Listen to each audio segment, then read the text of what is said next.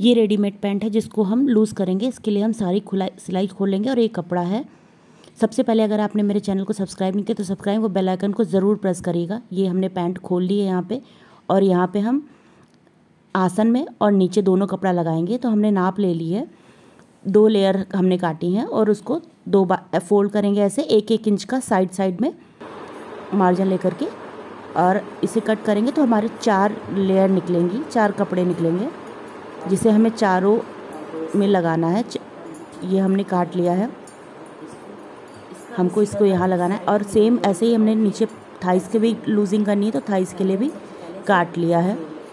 सबसे पहले हम थाइस के कपड़े को लगाएँगे।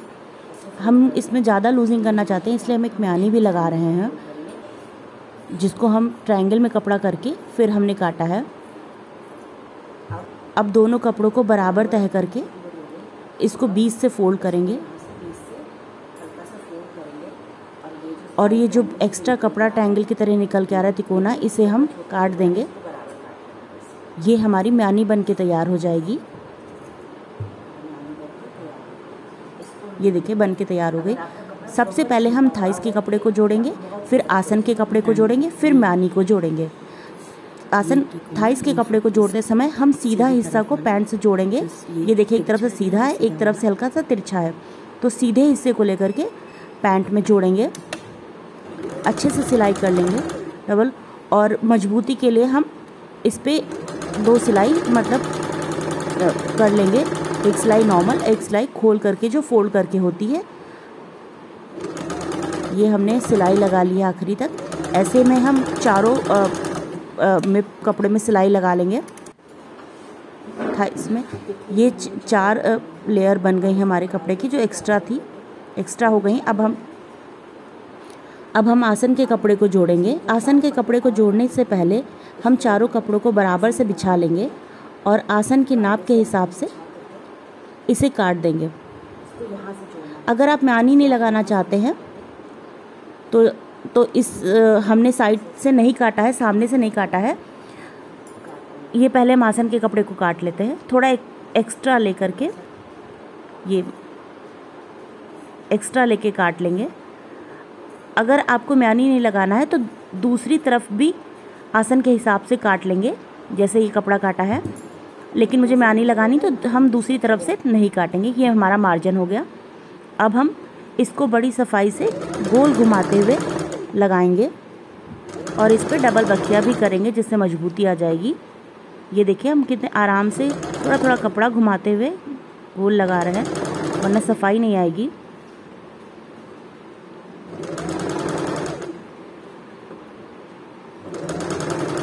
थोड़ा थोड़ा फोल्ड करते हुए गोल घुमा रहे हैं और लगाएँगे।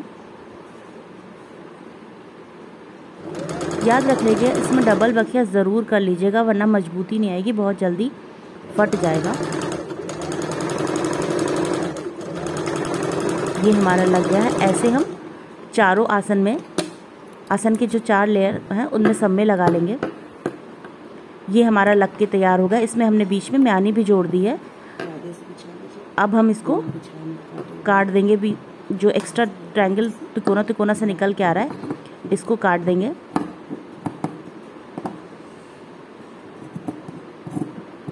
अब हम दोनों पैरों को मतलब म्यानी से होते हुए अच्छे से सिल लेंगे। ये देखिए यहाँ पे जो एक्स्ट्रा कपड़ा है उस पर जहाँ से सिलाई है और बाहर की तरफ़ निकालते हुए हम एक मार्क कर लेंगे जिससे हमको सिलाई करने में आसान हो जाएगा। जहाँ पहले से सिलाई है वहाँ से सिलाई स्टार्ट करिएगा और थोड़ा सा बाहर लेते हुए आप ले आएगा बाहर तक की तरफ़। तो हमारी लूजिंग बहुत अच्छी होगी और पता भी नहीं चलेगा।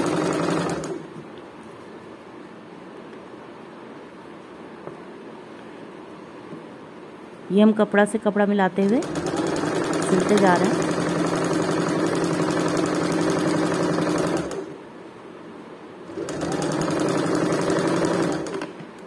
अच्छे से सिलेगा मैनी कि जहाँ जोड़ है, वहाँ पे सारे जोड़ आए जिससे सफ़ाई बहुत अच्छी आएगी।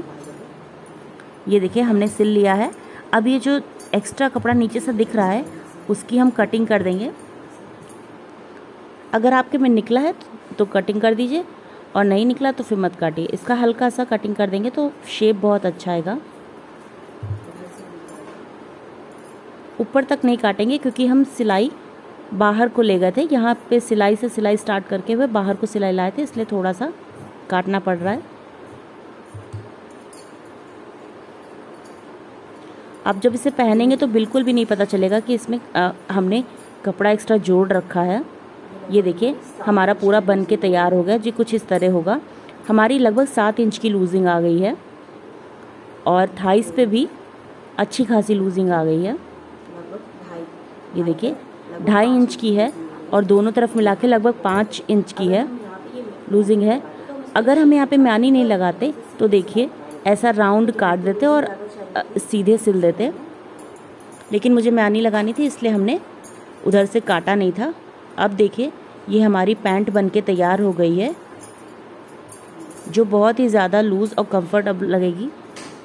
अगर आपको मेरा ये वीडियो पसंद आया है तो लाइक और शेयर ज़रूर करिएगा।